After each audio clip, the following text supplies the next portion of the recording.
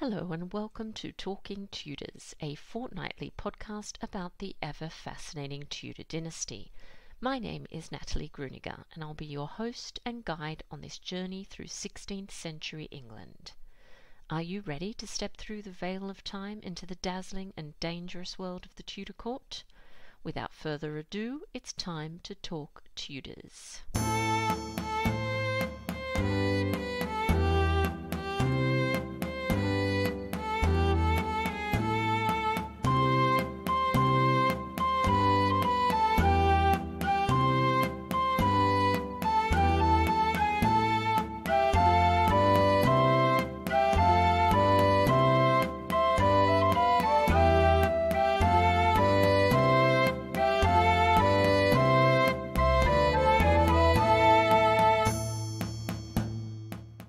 Everyone. Welcome back to Talking Tudors, episode 82. I'm your host, Natalie Grueninger, and it's wonderful to have your company. Before we begin, I'd like to acknowledge and thank the wonderful listeners who continue to support this podcast via Podbean Patron, and thank everyone who's taken the time to rate and review the show.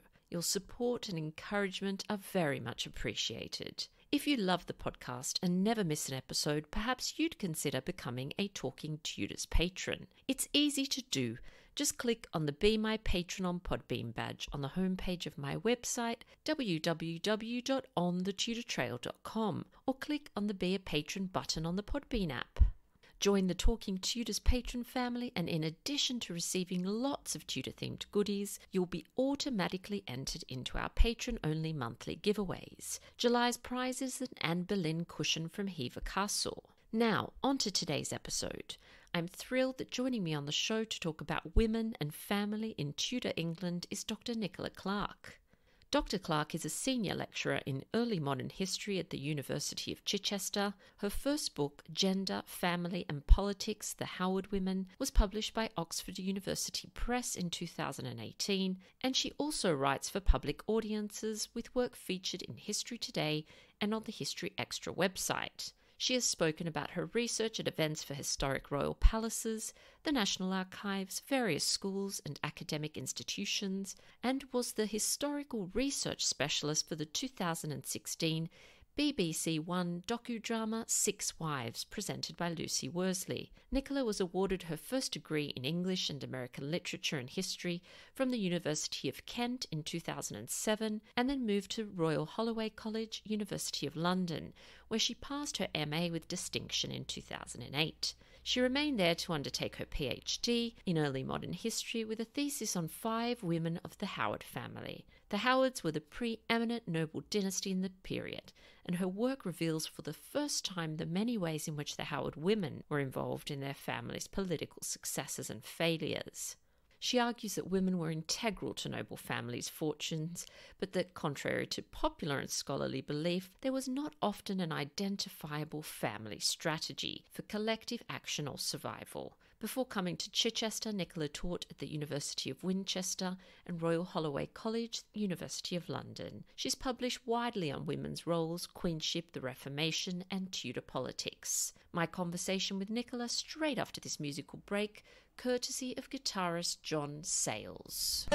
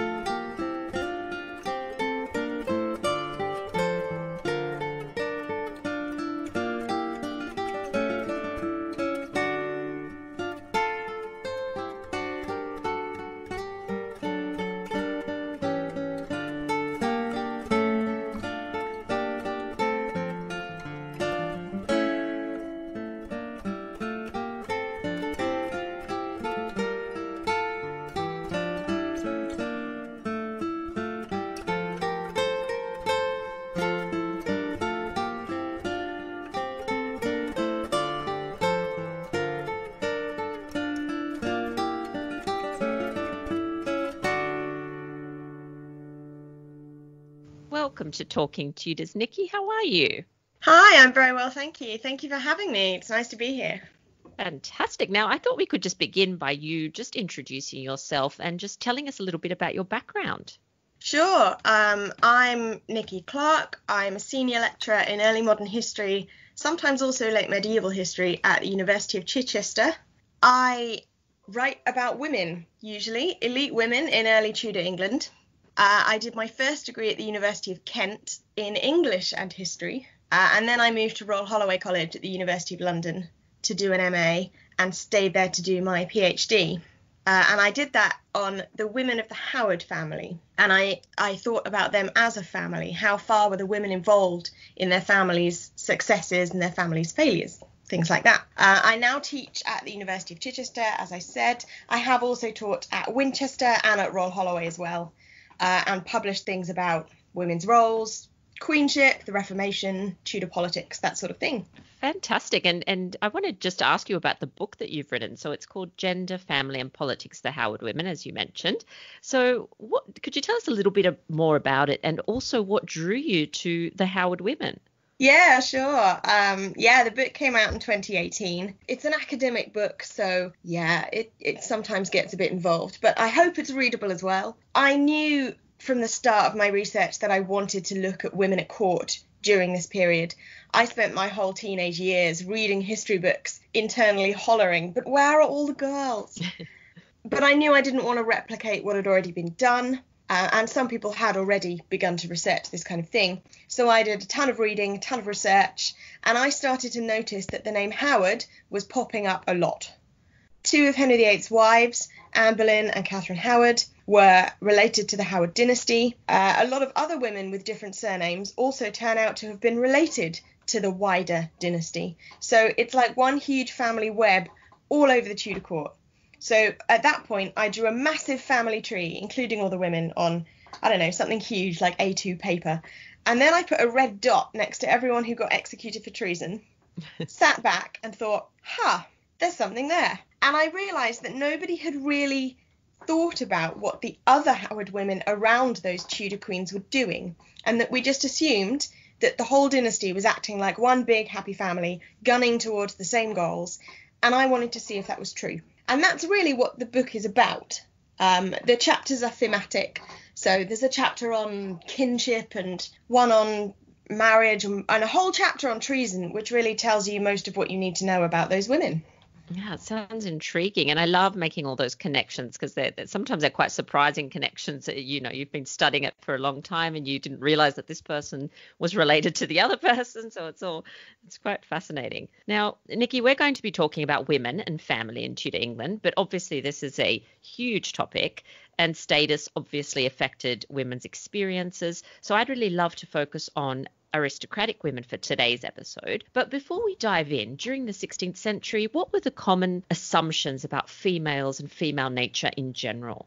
Well, a long story short, women were secondary. They were subordinate to men. That is the general assumption about women and female nature in the 16th century. That view of women is predicated on, on two major things the medical understanding of gender and a religious view as well. So, medically speaking, society tended to follow ancient models of understanding the human body, like the humoral system that had been outlined by the Greek philosopher Galen way back when. Um, and that's the one with the four humors cold, wet, dry, and hot that are allied to four kinds of uh, disgusting bodily fluids, so blood and phlegm and black bile and yellow bile. For the body to be healthy, it was thought that the humors needed to be balanced. But this also has gendered connotations. So women were thought to be cold and wet, men were hot and dry. So men went to war and had sex a lot, and women were weaker and cried a lot. Religiously speaking, the view of women followed the Bible,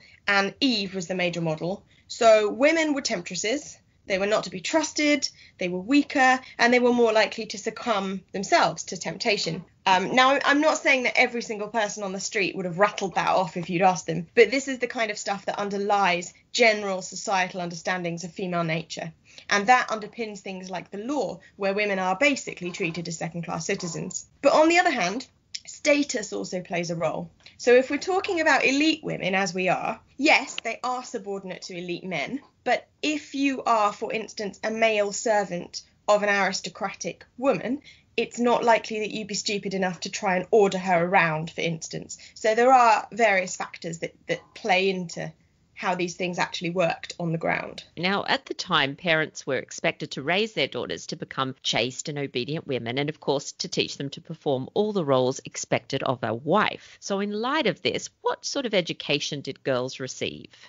Actually, you've hit the nail on the head there. People in general were educated to fit them for the life that they were intended to lead as adults. And that's the case for men as well as women. So, for elite women during this period, that does usually mean a less uh, what we might call scholarly education than an elite man would receive. So most aristocratic girls are not taught Greek or Latin or rhetoric or philosophy or, you know, scholarly things like that. At an early age, they would get the rudiments of basic education probably from their mothers. So things like initial religious instruction, uh, learning the Lord's Prayer, the Creed, the Ten Commandments, things like that. They might well be taught to read also by their mother, presuming that she could. And most elite women could at least read by this point, even if writing was sometimes a bit shaky. They would also learn to sew. As girls got older, it's it's probable that she would shadow her mother and learn household and estate management that way. Managing some of these huge aristocratic estates is a bit like managing a huge business corporation, like a massive hotel or something like that, and making sure everyone's doing what they're supposed to be doing. Um, so it's quite an undertaking, and the best way to learn that is is to follow someone who's doing it. It was also quite common in elite families for children to get sent away to be fostered by another noble household, usually in their very early teens, because that's a way for that child to learn social graces, make connections that are going to help them in later life, polish their attainments, and things like that. And this is the case for girls as well as boys. So, a few girls might also end up at the royal court for pretty much the same purpose as maids of honour in service with the Queen. Again, that's a kind of finishing school process under the supervision of the mother of the maids. Um, there were a few aristocratic girls, particularly as the 16th century wore on, that did receive what we might think of as a more male kind of education. So, women like, for instance, the princesses, Mary and Elizabeth, uh, Lady Jane Grey, the Cooke sisters, there's a great book about them by Gemma Allen. Um, they did receive the kind of education where they learned Greek and Latin and a zillion other languages and things like that. But that's not the norm yet during this period. You know, there's so many arranged marriages. I think most for the aristocratic people were arranged marriages. So, what factors did parents take into consideration when they were kind of picking a spouse for their daughter? And I'm really interested to know did women actually have any say in the matter? And what were the sort of main goals uh, seen as for marriage? Yeah, again, it, it's quite a case by case basis, but as a general rule, for elite women, marriage is pretty much an economic contract between the families of the bride and the groom. So whether she gets any say in that really depends on the attitudes of the people around her. Um, but the economics of it for elite families is probably the number one consideration, woven in with social status. So the woman would bring a dowry with her, and by this this time it's most usually cash. Uh, but if she's an heiress, it might be land. In return, the groom's family would assign her what was called a jointure, which meant a parcel of land, and the income of that was there to support her if her new spouse died before she did, which was quite common. Um, and the amounts of those two sums, the dowry and the jointure, tended to be adjusted up and down depending on the specific aims and the social status of the two parties involved. So if a bride is much, much higher status than her intended groom, the groom's family might then offer a higher jointure and she might bring less dowry, almost because her status is part and parcel of what they're getting and what they're paying for. And that doesn't mean that women had no say in the matter whatsoever. There is some evidence that you know, people were aware that it wasn't a good idea to try and force two young people together if they hated each other. But often, two intended spouses might not know each other that well, or even at all, before they do marry. And generally, young women are expected to abide by the wishes of their parents or their guardians in terms of who they marry. Um, but I don't know. I, I think it's easy to see that as very oppositional um, in the, woman against her parents. You know, they won't let her marry who she loves. Occasionally that happens, but generally speaking, it's not that way. The things that that her parents want for her, so things like financial security and status, are the things that she also wants for herself because they're the biggest things that are going to make her future life worth living. I don't think people expect romantic love in the way that we do now. There's no kind of sense of Mr. Right. Um, and again, that's not to say that that doesn't happen. It sometimes does. Um, I mean, Anne Boleyn's sister Mary ran off with William Stafford, and that was that was a love match. Um, but but that's the thing. Often it happens with subsequent marriages rather than the first marriage, because once you've married once to please your family, you're a bit freer to follow your own inclinations the next time around. Yeah, that's so interesting. Actually, the you mentioned um, Mary Boleyn the, the letter that she wrote to Thomas Cromwell asking basically for him to intercede with her with her family that were all very very cranky at her having married below her station and without Anne's permission is quite an amazing letter. She and she basically says yeah she did it for love, which is not the not the norm at that time. So that's really interesting. Now once a woman got married, what were her legal rights? Was she better or worse off than, say, a single woman or a widow? Again, hard to give a one size fits all answer. Um, experiences of marriage uh, and of widowhood could be really variable at this point. More commonly, though, married women are legally worse off, certainly than widows in certain kinds of law. So when a woman marries, she moves from the household of her father to the household of her husband. But legally, she also now becomes the possession of her husband. She becomes his chattel. And that means that legally her status is subsumed into his.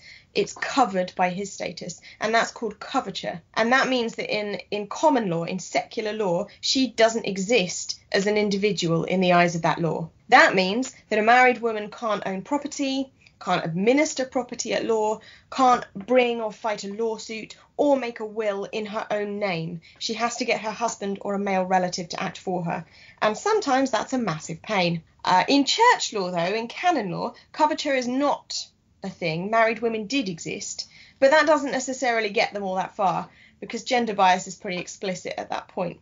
Widows, on the other hand, aren't subject to coverture. Once you're widowed, you exist. Ta-da! Right. so you'll see many more widows in legal records. Women, widows are able to act for themselves and do all those things that married women can't do, uh, which does give them a lot more freedom.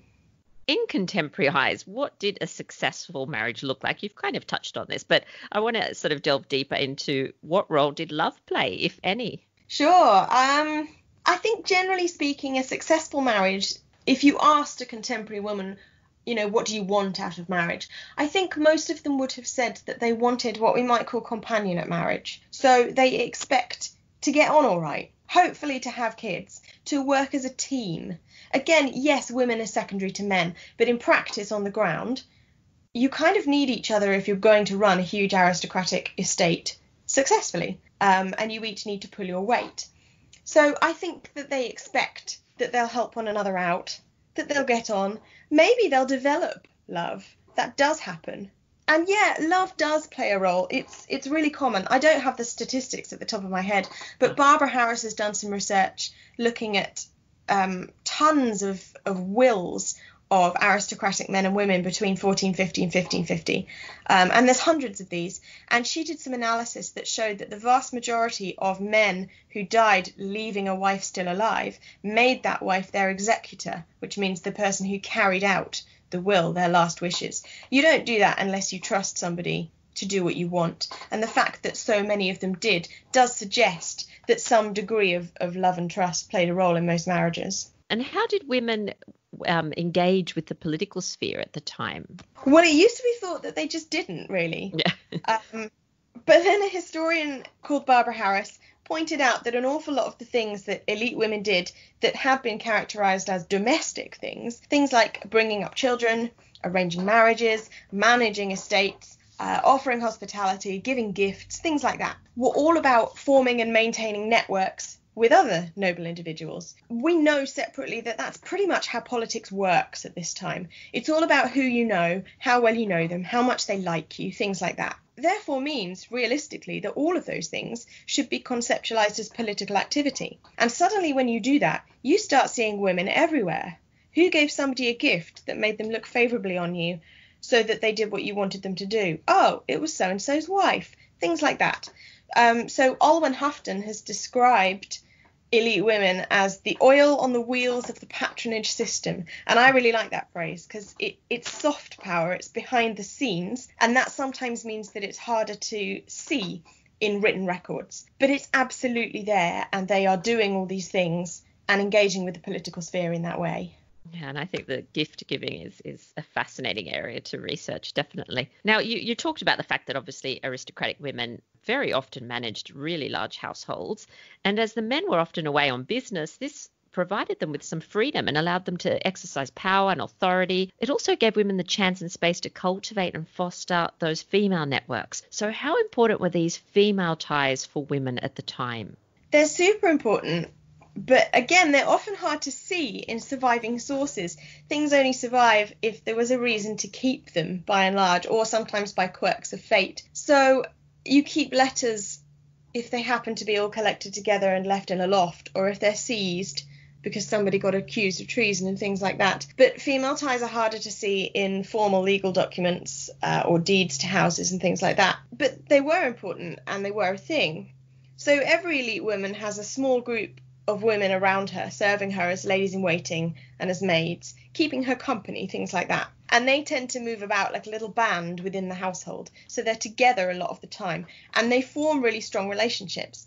And you can see this in things like Catherine Howard's rise to become Henry's fifth wife, in that once she'd done that, once she'd married Henry VIII, she then gave places in her household as queen to several of the young women who'd lived with her in her previous households, which again, it shows that they're quite canny and they know very well that if one of them does well, they'll all come out of the woodwork and start demanding things. Um, but it does also show that strong friendships and bonds were made. We also know that women will visit each other. So when the Duke of Norfolk is away from his home in the mid 1520s, his wife Elizabeth is visited by a small group of women that she knew from her service at court. And there's no other reason for them to have come all the way out to East Anglia which is not a, a, a short journey at that time. Um, other than to see her and to maintain those connections. And women also look out for each other in tricky situations. So the same Elizabeth, the Duchess of Norfolk, shelters her sister in law, the Countess of Oxford, when she's dealing with a really difficult marital situation. We can see from household accounts that the Countess comes to stay for quite a number of weeks just at that point. And another uh, situation where we find women coming together is obviously childbirth. So, could you talk to us a little bit about women's experiences as mothers, maybe uh, touching on, you know, pregnancy and childbirth as well? Yeah, sure. Uh, I mean, that's women's primary purpose, really. Elite women, particularly at this time, they were supposed to breed and continue the dynastic line. So, a lot of elite women spend a lot of time being pregnant, which can't have been the biggest amount of fun what they tend to do is to keep going more or less with their normal lives until about a month before the estimated due date. And that is an estimation. Sometimes they're wrong because the only means that they have to know whether they've conceived a child um, was that menstruation would stop. But even they know that that is not a wholly reliable sign. So mistakes are sometimes made and things like that. Um, but at that point, an elite woman would normally withdraw into confinement, which is also often called the lying in period. And she usually does that in her own home or maybe with a female relative, sometimes with her mother. And we actually know more about this for queens than we do for other women because there are royal ordinance that, ordinances that survive that were written down by Margaret Beaufort in the late 1490s uh, that lay out exactly how this happened, what the space for confinement was supposed to look like. So what the Queen does is withdraw into a set of chambers away from the rest of the court, and those rooms have been made dark. There are hangings around with sort of non-stressful topics depicted because you don't want to stress out the mum. It needs to be warm. There's probably a fire. There's at least one bed. Uh, and the whole area is served only by women. No men are allowed in. So it's really a space for her to rest before she gives birth, and she'll stay there until she does give birth. Birth itself is dangerous, everybody knew that, and it isn't necessarily less dangerous for elite women than it would be for poorer women, except that elite women are undoubtedly better nourished nutritionally than poorer women, and that might well make a difference. Um, but it has been suggested that really elite women, especially queens, might in some ways be worse off during the actual birth itself because they tend to be attended by surgeons, by doctors, male doctors, rather than midwives. Now, in this period, the chances of a doctor knowing an awful lot about female anatomy or childbirth is reasonably slim. What you want, really, is a midwife who's helped plenty of women give birth before. Now, the Queen does have a midwife, but she doesn't have the same collection of neighbourhood women around her who would have done this before. So it has been suggested that if something went wrong, actually a surgeon wouldn't have a huge amount of idea what to do, whereas a midwife would. So in some ways, a queen might be in a little bit more danger. After the birth, presuming all goes well, an elite woman will stay where she is for 40 days. During that time, the child's normally christened, and then at the end of that 40 days, she undergoes a ceremony of churching, where she goes to the church and is blessed. Um, and this purifies her and welcomes her back into the community, and then she can leave her chamber. And Natalie Zemon Davis has argued that for some households where they were able to do this, in some ways that reverses the normal household hierarchy, because rather than the man being at the top of the house, his every whim catered to, suddenly a woman is the one resting, and the man has to do her work and do what what she wants to do, and she's the one to be considered which I think is really interesting. And then once the child is born, usually for elite women, a wet nurse is hired. They don't usually feed their babies themselves. And that's that's partly because she can conceive again faster if she's not breastfeeding. We know that forms a bit of a natural contraceptive otherwise. She can return to service at court, pick up her normal duties, whatever it is she normally does. Choosing a wet nurse could be quite difficult as well. There is evidence that women were quite picky about who they chose to nurse their children, not surprisingly. Queen Elizabeth of York's privy purse expenses show that leading up to the birth of uh, the birth of the child that killed her, I want to say it's Catherine, I could be wrong, in 1502 3. there's a number of entries in the chamber books uh, paying the expenses of women who'd come to see her to have been her nurse but have been sent away again because she didn't choose that one. So it does show she's quite picky. There would also be nursery staff. Um, so, yeah, in terms of how much contact mothers would have with their children, it's really, really variable. It depends how much that woman is at home uh, or not. I mean, yes, there's a nursery staff, but that's partly because elite women, although we think of them as sitting around all day, they're really not. They're busy people. They can't realistically delegate a lot of their estate duties to somebody else. So it does make sense to have staff to look after your child. And it's a status thing as well. It's a look how rich I am. I don't have to breastfeed, you know, that sort of thing. And so if we asked a Tudor elite woman, you know, what's a good mother? What, what's a good mother look like, act like, behave like? What sort of things do you think they'd say? I think they would say a good mother is one who gave her children the tools that they needed to survive in the elite world. So, a mother who gives them the right rudiments of knowledge, manners, religion, skills, social contact, things like that. When it comes to the ties that mothers developed with their children, there appears to be a sort of prevalent view, and I know I've seen it a lot in comments on social media and that sort of thing, that mothers didn't love their children as deeply as we do today. And I think this view sort of stems from the fact that as you've already mentioned, royal and aristocratic mothers delegated much of their infants' sort of everyday routine care to servants, you know, wet nurses. They often had to travel and they left their children behind. And if we're talking about royalty, they even had separate households for like little babies. So, virtually from birth. So, in your opinion, do you think mothers developed a strong, loving bond with their children? Yes, I think they often did. Um, that view that you know parents didn't love their children in pre-modern times um, and it used to be argued that this was because child mortality was so much higher that um, parents didn't didn't sort of bother to emotionally invest in their children because they might die anyway. It is true that child mortality was high. Uh, Agnes, Duchess of Norfolk, gave birth to 12 children, six of whom survived to adulthood. I mean, that's not a great a great ratio, really. And she is as elite as they get. So it's not a, you know, it, it's not that she hasn't got every advantage to help her children survive. It's it's a thing that happens during this period. But to imagine that they didn't feel grief when children died, I mean that's that's definitely erroneous. We know that mothers were heartbroken when children died. I mean Henry VIII and Catherine of Aragon, when Prince Henry died unexpectedly in 1511, we know they were they were devastated. We know that Henry VII and Elizabeth of York um, were devastated when Prince Arthur dies uh, when the news was brought to them, there's a great Herald's account that shows Elizabeth of York trying to comfort Henry VII and saying, "Now look, yeah, this is awful, but we're young yet. You know, we can have another child, sort of thing." Um, and then she went back to her chambers, and then she fell apart, and he came and comforted her. So absolutely, people did care about their children a lot.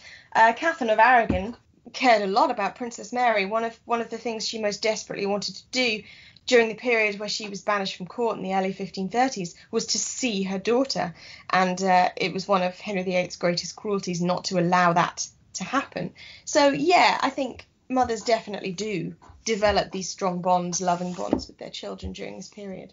I have always found that strange when people sort of comment, "Oh no, they didn't.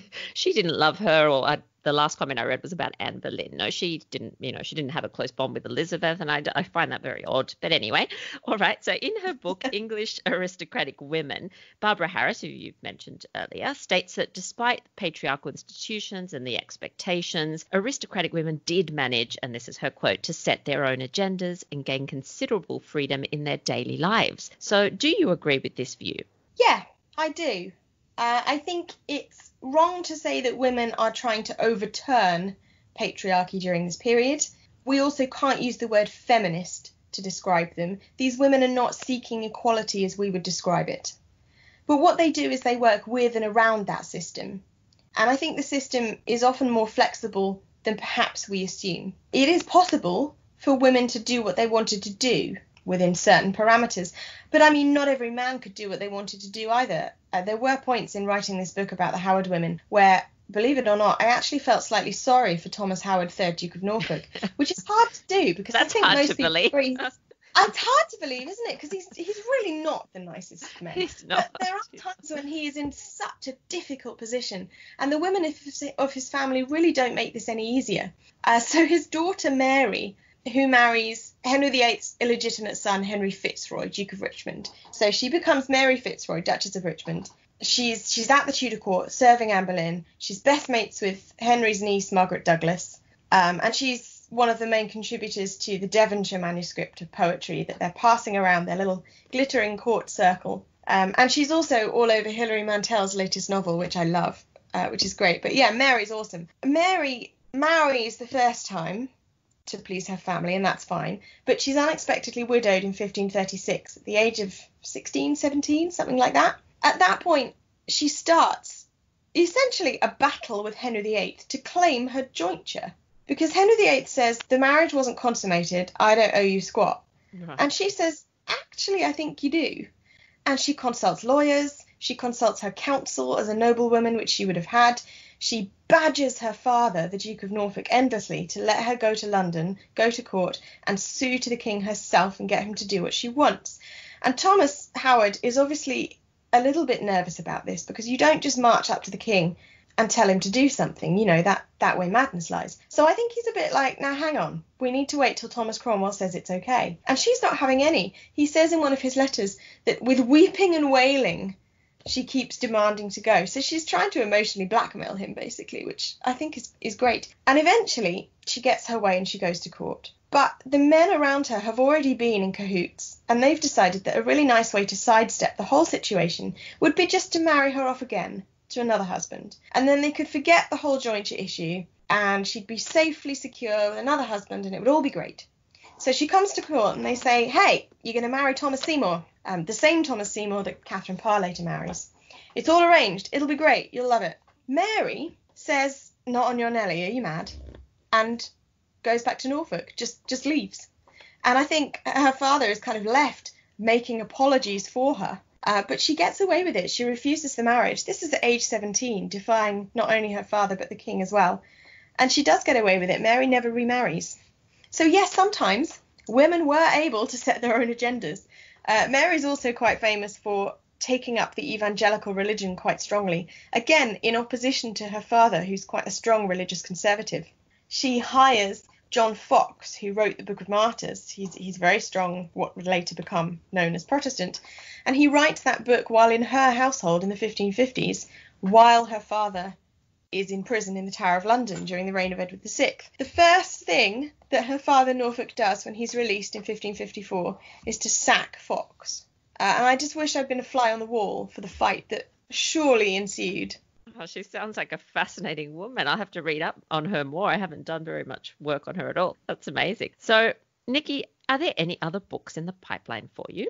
Uh, hopefully, yes. Uh, yeah, I'm I'm trying to put something together at the moment uh, on ladies in waiting on Oh, some of the women who served Henry VIII's wives because I I just think they're there everywhere. They're in every novel, every TV series, and they're like a tidy little backdrop, aren't they, behind the Queen? And occasionally we see a little bit of character, but you know we expect to see them there, but we don't really know what they were doing or why, or, or who they were.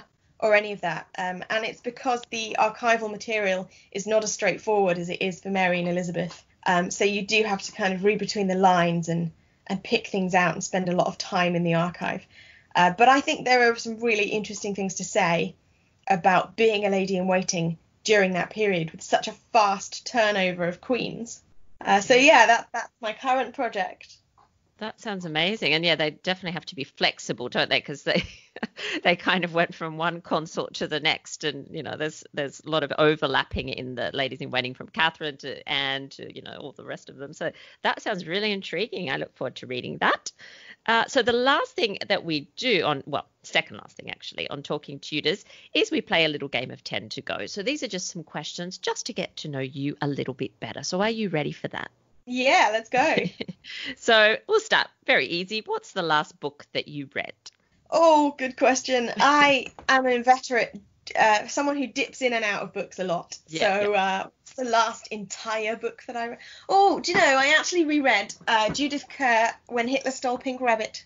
Um, she's the author of When the Tiger Came to Tea, The Tiger Who Came to Tea, the the well-known children's book. Yep. But she also wrote some uh, autobiographical novels about her time escaping from uh, what became Nazi Germany, and they're awesome. And I read them as a child. Uh, came across them the other day and reread those. Wonderful. And speaking of um, children and childhood, what uh, when you were a child, what did you want to be when you grew up? Ha! Believe it or not, I wanted to be a writer. Oh. I wanted to be an author, and I said that from the age of about seven. Um, so there we go. Yeah, that's fantastic. And do you have any writing rituals? Oh, not rituals per se.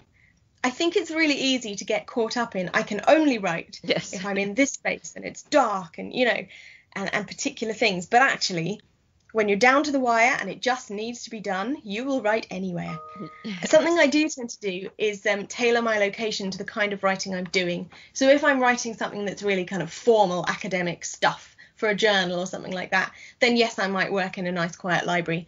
But if I'm writing something for a more general audience, uh, to teach or give a talk or something like that, I quite like to write in a less formal space. So I'll go sit in a cafe because there's something about hearing the voices around me that puts me in the right frame of mind uh, to to get that tone into my writing. So, what what's a movie that you've watched that has made you cry? This is really sad, but the original BBC version of Sense and Sensibility with Kate Winslet and Emma Thompson in it invariably always makes me cry. Uh, but it's not it's not the um it's not Marianne and Willoughby, although that's kind of sad. It's the it, there's a particular scene in it where Marianne has got some horrible flu-like thing. It's never really specified. Yeah. And it's the middle of the night, and the older sister Elinor is sat by her bedside, and suddenly Elinor, who is sense and never gives way and always does the right thing and the sensible thing, suddenly just kind of loses it and says, "Oh God, don't leave me, don't die, don't die." I'm an older sister, and that gets me every time. Yeah, yeah. And and hopefully, you know, we'll be able to travel again in the near future. So, what's a place that's on your kind of bucket list to visit? Oh, that's a great question. Uh, I have always wanted this again. This is this is weird. I've always wanted to go to Alaska ever since I read White Fang as a child. Yeah, that would be cool. I would much That would rather be go somewhere cold than hot. Do you have a, or are you known for a signature recipe? No, I'm known for don't let her cook. It's not a good idea. Uh, no, that's probably an exaggeration. I'm not the best cook in the world. Um, a signature recipe? Uh, Not particularly, to be honest. That's all right. That's okay. and and what do you do to recharge the batteries? Ah, I'm a knitter. Oh, Um, I knit toy animals. I knit anything really. Um, but I mean anything crafty, anything I can do with my hands, uh, or anything musical. Those are my recharge things. do you do any embroidery like our Tudor women? I do. I do some black work actually. Oh, wow. Oh, I'd love to learn that. That's that's on my list. Um, name someone that you'd like to sit next to on your next long haul flight. Oh. Anyone. It can be any period. We'll just pretend that we can kind of transport them. Transport them. Oh, here. we're going, oh, if we're going historical, who would I like to meet? I'd really like to sit next to Catherine of Aragon. yes, I that would be have interesting. wouldn't it? many sensible things I could learn. Absolutely. And what is your drink of choice if someone's taking you out? Oh, let's think. What would I drink? Depends. During the day, probably coffee, probably mocha, ideally from Starbucks. Excellent. Uh, in And the evening? evening, that, that might morph to pink gin tonic. Yeah, yum, that sounds good. And lucky last, what's a, a really great piece of advice that you've been given at some point that you'd be willing to share with us? Oh, good piece of advice. Behave as though you're confident and people will fall in line with it. And I said that was the second last thing. So the very last thing I ask all my guests is for a Tudor takeaway. So this is something for our listeners to explore after the episode. You know, it could be a, a book recommendation or a film or a song to listen to. Do you have a Tudor takeaway? I do. It's actually a website. Oh, great. Yes. um, and it's a historical source. So Henry VII and Henry VIII kept um, books of expenses for their chamber, and they're called the Tudor Chamber Books, and they list all the payments that were made. So it's to people for taking messages, wages are in there. I think Henry VII at one point paid an exorbitant sum of money for a young maiden who danced, which does make you wonder quite what kind of dancing Yes. we're talking about. Uh, it's all that kind of stuff, and they have been digitized and put online, and it's amazing. Um, there is, I don't know if you can see the original images, but you can see a transcription of the original spelling and then a modernized transcription as well. Uh, and if you just Google Tudor chamber books, you'll come up with the website, and it's just, it's amazing just to explore. Fantastic. That's an excellent takeaway. And I'll add the the link to that in our show notes so that it's nice and easy for everyone to find.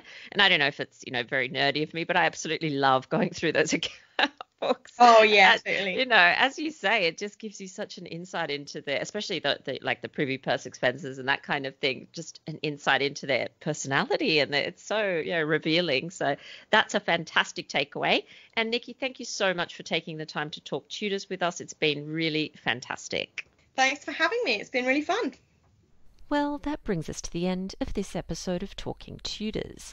Thank you so much for joining us. I absolutely love to hear from listeners, so if you have any comments or suggestions, or just want to say hi, please get in touch with me via my website, www.onthetudortrail.com, where you'll also find show notes for today's episode. If you've enjoyed the show, please share the podcast with friends and family, and don't forget to subscribe, rate, and review. I also invite you to join our Talking Tudors podcast group on Facebook, where you can interact with other Tudor history lovers and hear all the behind the scenes news. You'll also find me on Twitter. My handle is on the Tudor Trail and on Instagram as the most happy 78. It's time now for us to re-enter the modern world. As always, I look forward to talking Tudors with you again very soon.